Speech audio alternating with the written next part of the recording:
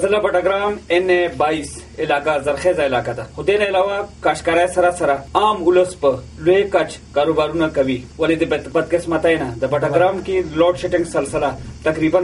13 غنټو ته رسیدلې ده چې لامل د خلکو روزګارونه پټک ولاړ دي د چترپلین ولس حکومت نه مطالبه کړدا چې هغه ته د الادا فیډر قائم کړل شي د نه علاوه د 1 لاک 32000 کې وی ګریډ سټیشن چترپلین عمله چې کومه ده د هغه رویه هم خلکو سره خنه ده او دغه ګریډ سټیشن خپل ذاتی جائیداد غني د علاقې ولس د غیر اعلانیه لوډ شیډنګ په حق لا خیبر نیوز ته وی فیډر 1 فیډر 2 باندې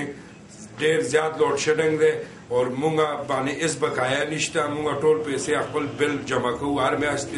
میاشت جمع کوو او زمونږ کاروبار ټپ شوی دی او 16 غنټه مونږ باندې لوډ شیډنګ دی دا تقریبا زمونږه د علاقې چې د ون باندې ده نو د باندې تقریبا 16 نه واخله 20 غنټه پورې لوډ شیډنګ غیر اعلان لوډ شیډنګ کیږي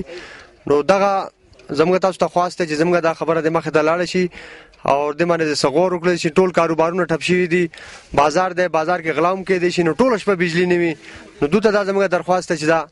لوډ شیډینګ باندې کم کړل شي د ضلع بډګرام ان ای 22 چتر پلان سیمي اوسیدونکو موجوده حکومت نه په علاقې کې د لوډ شیډینګ د ختمېدلو غوښتنه کړې ده خیرآباد فیډر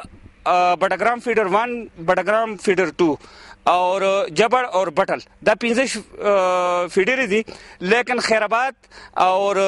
بټګرام 1 بټګرام 2 چې کوم دی دا 8 غنټه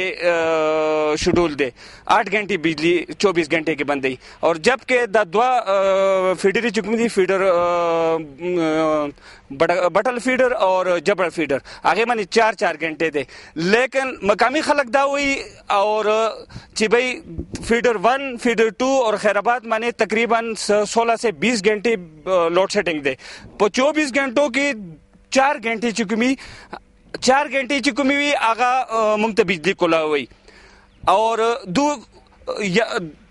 ګریډ والا وایي چې دا اپریشن والا چې کوم دی دا ځل ماغه کوي او اپریشن والا مونږ ته دا عوام ته دا خبره کوي چې بای دا زیاتې چې کوم دی دا د ګریډ والا کوي نو آیا